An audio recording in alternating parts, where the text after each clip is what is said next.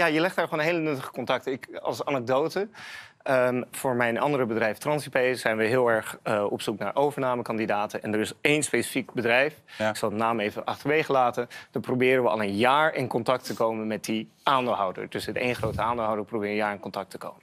Ik sta daar aan de bar. Er komt een eh, enigszins aangeschoten man naar me toe. Hé, hey, jij ook hier? Ja, jij ook eerste keer. Nou, wat, wat vind je ervan? Wat doen we hier? Ja?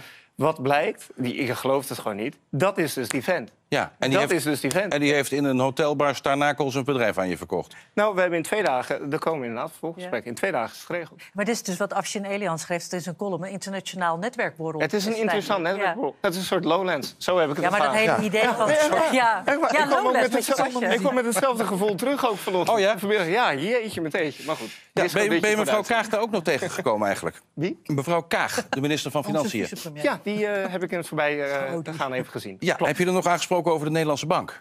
Dingen die onder de rechter eh, liggen, die mogen uiteraard niet door de regering worden be- besproken. Nee, maar je hebt ruzie met de Nederlandse bank. Daar, Nee, eh, nee, nee, nee. Ik heb geen ruzie met de Nou, Nederlandse dat bank. vindt, denkt de Nederlandse bank anders over.